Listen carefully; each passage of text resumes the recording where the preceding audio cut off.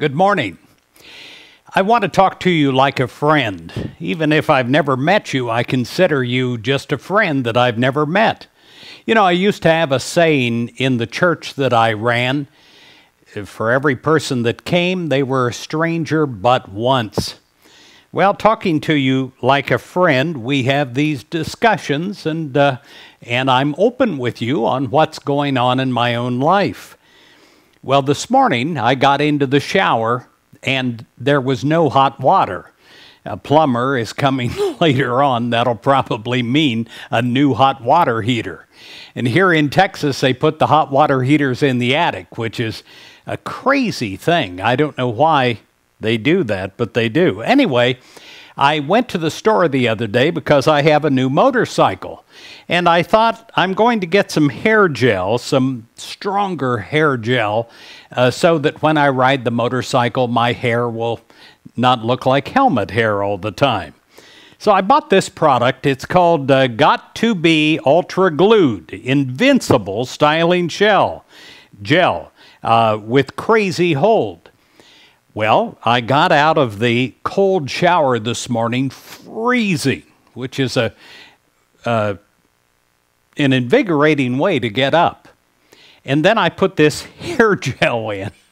And I tell you, I mean, when they say it is glued, uh, I apologize if my hair looks funny today. I've worked hard on it. But literally, I put the comb and the brush in there, and I couldn't get them out. And then uh, I tried to comb my hair. There's no way. My hair is glued.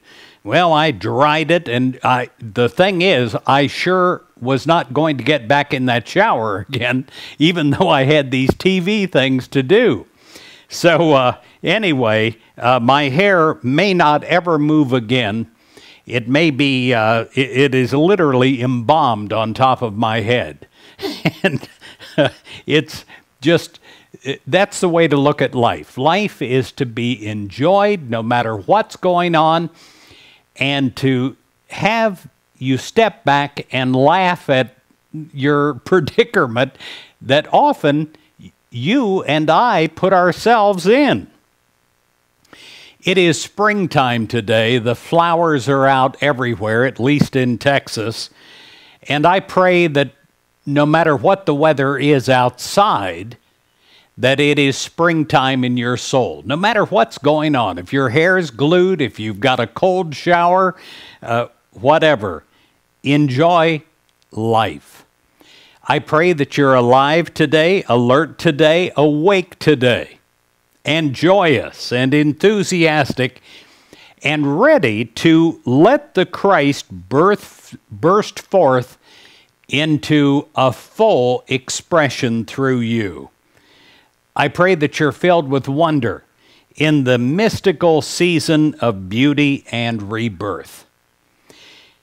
You close the door of your mind and also your heart to wintertime thoughts and feelings. You're open to new and novel ideas, to freshness and to originality.